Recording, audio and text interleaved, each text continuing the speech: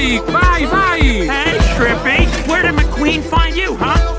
Those round things are called tires, and they go under the car. Con, con chi devi parlare? Eh, ma con chi stai No, no, no, no. You will have your chance, Guido. You will have your chance.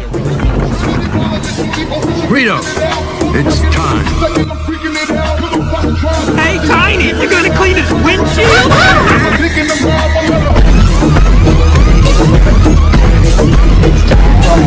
I'm not.